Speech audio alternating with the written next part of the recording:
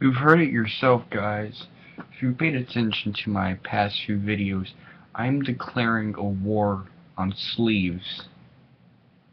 I don't even know why.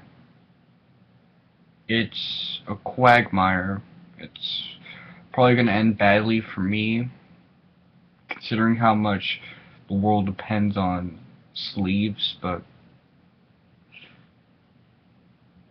it's something I'm doing to do it. One thing that annoys me about dirt or the rumor mills in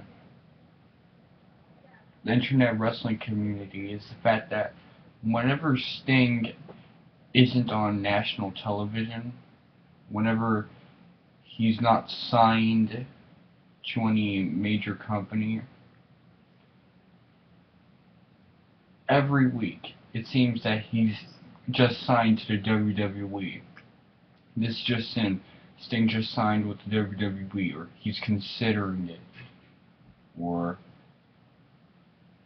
something of that nature. They're working things out right now in terms of merchandising.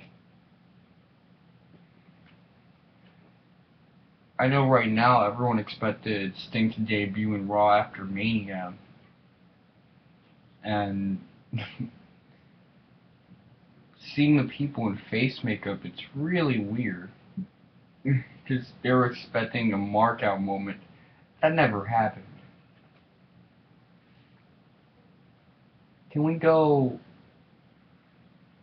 a week without this notion that Sting is going to sign with WWE? Because when you keep crying wolf, people start to get cynical and stop believing in something that may be possible. You know, what is Sting right now? He's 54 years old. He can barely do the Scorpion Deathlock. And it is a Scorpion Deathlock. It's not a sharpshooter. It's not a Sasori Gatame. It is what it is. Although it's just the same move, but that's what he calls it. Anyway. It's not gonna happen. If it is going to happen, don't announce it. Don't spoil it. Don't kill it. It's already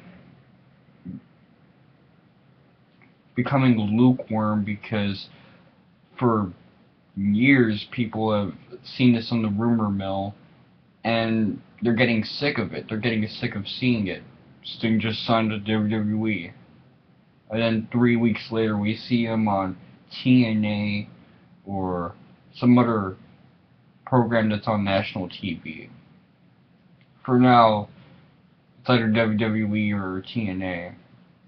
Although, in less than a year, Jeff Jarrett's new promotion, GFW, will change that. But who knows how that'll turn out. Maybe Sting will debut there, since he's a Jeff Jarrett guy. That would be an interesting rumor, but I'm just sick of the one we're getting now all the time. It's making me unfollow the dirt sheets again for the same exact reason. Last year, I started unfollowing a bunch of dirt sheets and wrestling rumor forums because of this same predicament. And it's prevailing. It's succeeding again. So take, let that be a lesson. Please stop, guys. It's annoying. I actually like a lot of rumor mills and the stuff I hear from there because some of it is interesting and informative, yet this is awful. And when Sting finally debuts, hopefully it happens, or hopefully he croaks, at least we'll never get to see this again. Maybe he'll retire.